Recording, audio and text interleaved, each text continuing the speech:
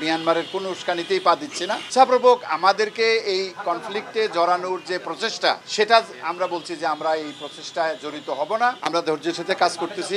কিন্তু আমরা এমন কিছু করি নাই যার জন্য মিয়ানমারের গোলা এসে আমাদের যে জনগণ, যারা আমাদের সীমান্তের ভিতরে আছে, তাদের জানমালের নিরাপত্তা ব্যাহত করবে এবং তারা গরু, বাছুর নিয়ে বাইরে যেতে পারবে না, তাদের ধান খেতে যেতে পারবে না, তাদের ঘর বাড়িতে থাকতে পারবে না। এইটা তো চলতে দেওয়া যায় না। এই কারণেই আমরা তাদের কাছে বলেছি যে আপনাদের আমরা সাহায্য চাই যাতে করে মিয়ানমার এই অঞ্চলে একটা অস্থিতিশীল পরিস্থিতি সৃষ্টি করে ভবিষ্যতে ফায়দা লুটতে না পারে, যাতে করে এই রোহিঙ্গাদের ফেরত নিতে না হয়। এবং আমরাও এটাও বলে দিয়েছি যে বাংলাদেশ চরম ধৈর্য সহকারে পরিস্থিতি অবলোকন করতেছে এবং আমরা কোনোভাবেই চাই না এখানে জড়িত হতে, যাতে করে এখানে জড়িত হলে মিয়ানমার একটা সুযোগ পাবে। এই রোহিঙ্গাদের ফেরত না নেওয়ার জন্য একটা অজুহাত পাবে। সেরকম কোনো অজুহাত আমরা মিয়ানমারকে এই মুহূর্তে দিতে চাচ্ছি না। Sir what was their response এটা একটা প্রশ্ন আর একটা হচ্ছে চীন রাশিয়া ভারত তাদের কেউ এসেছিল কিনা বা তারা না আসলে নাকি আমরা তাদেরকে বলি নাই?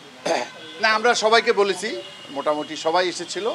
তবে তাদের যে মতামত তারা অ্যাপ্রিসিয়েট করছে খুবই যে আমরা যে এই যে আমাদের যে এই যে চরম ধৈর্য আমরা দেখাচ্ছি এবং আমরা যে কোনো উস্কানিতে পা দিচ্ছি না মিয়ানমারের কোনো উস্কানিতেই পা দিচ্ছি না এটাকে তারা অ্যাপ্রিসিয়েট করেছে এবং তারা বলেছে তারা তাদের ক্যাপিটাল এই জিনিসগুলো জানাবে এবং যাতে করে ভবিষ্যতে যদি কোনো কিছু করণীয় থাকে বিশেষ করে ইউনাইটেড নেশনসে যদি কোনো কিছু করণীয় থাকে তারা আমাদেরকে সে ব্যাপারে সহায়তার আশ্বাস প্রদান করেছে।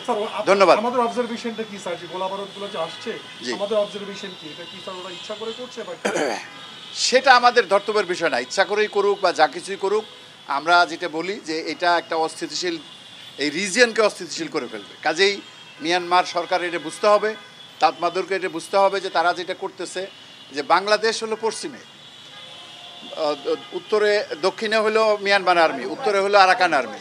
যে তাদের গোলা কোনোভাবেই বাংলাদেশে আসার তো কথা না, পশ্চিমে তো আসার কথা না। কাজে এটা তো জিওগ্রাফিক্যালি এটা হয় না, যদি কেউ ইচ্ছাপূর্বক না করে। কাজে ইচ্ছাপূর্বক আমাদেরকে এই কনফ্লিক্টে জড়ানোর যে প্রচেষ্টা সেটা আমরা বলছি যে আমরা এই প্রচেষ্টায় জড়িত হব না। আমরা আপনাদেরকে এটা অবহিত করলাম।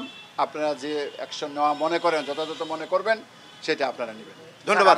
ধন্যবাদ। দেশ হিসেবে কূটনৈতিক বার্তা বারবারই দিচ্ছি। আমাদের সামরিক বাহিনীর সঙ্গে তাদের কোনো অফিসিয়াল যোগাযোগ বার্তা বিনিময় সেরকমও কি করা দরকার আমরা সর্বস্তরেই মিয়ানমারের সঙ্গে যোগাযোগ রাখতেছি। আমি শুধু এতটুকু বলব যে সর্বস্তরেই আমরা যোগাযোগ রাখতেছি যাতে করে মিয়ানমার বুঝতে পারে যে এইরকম একটা অস্থিতিশীল পরিস্থিতি সৃষ্টি করা তাদের জন্য যেমন বিপজ্জনক, বাংলাদেশ এটা কোনোভাবেই সঠিকভাবে গ্রহণ করবে।